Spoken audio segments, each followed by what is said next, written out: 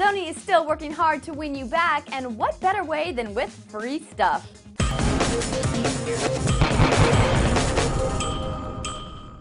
Hey everyone, welcome back to Clevver Games. I'm Andrea Renee here with the latest PlayStation update.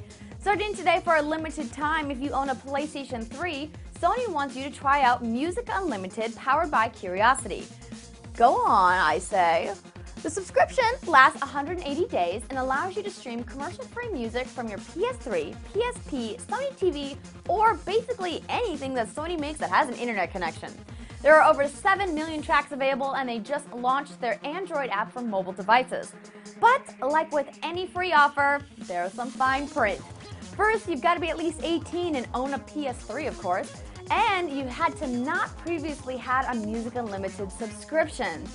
I'm a little confused about this part. I personally don't think it's fair because I paid Sony for this service once upon a time and now they won't let me test it out again for free.